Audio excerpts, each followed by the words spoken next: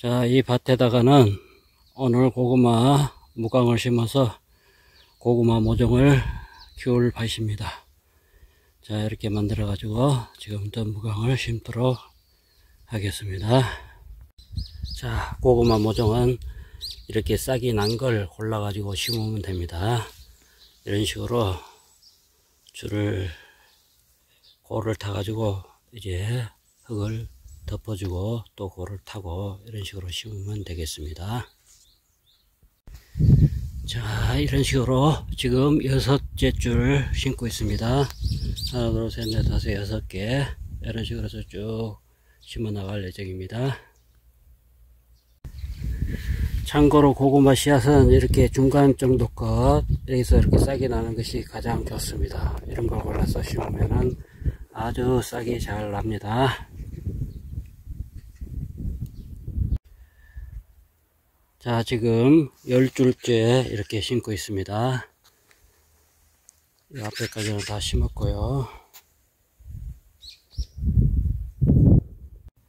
자 이제 여기까지는 돌멩이 놔지에 있는 여기까지는 에, 꿀고구마 달수 고구마 꿀고구마를 심었고요. 자 돌멩이 이후 여기서부터는 이제 자색 고구마를 심고 있습니다 자 이제 무광 신기를 다 완료했습니다. 이제 이 고구마 모종을 키우기 위해서 이제 여기다 미니하우스를 칠 겁니다.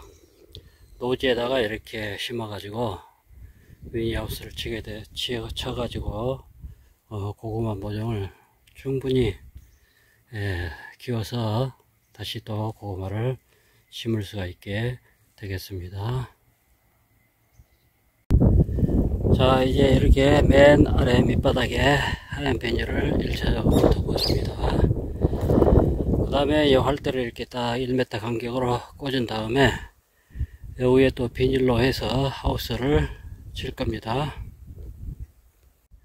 자 이제 고구마 무광을 심어서 이제 고구마 모종을 키우기 이제 노지에다가 미니하우스를 이제 다 설치를 완료했습니다 이런 식으로 해서 물은 한 열흘에 한 번 정도만 에, 비닐하우스를 벗겨내고 낮에 따뜻한 물을 주면은 싹 고구마 싹이 잘 자라납니다.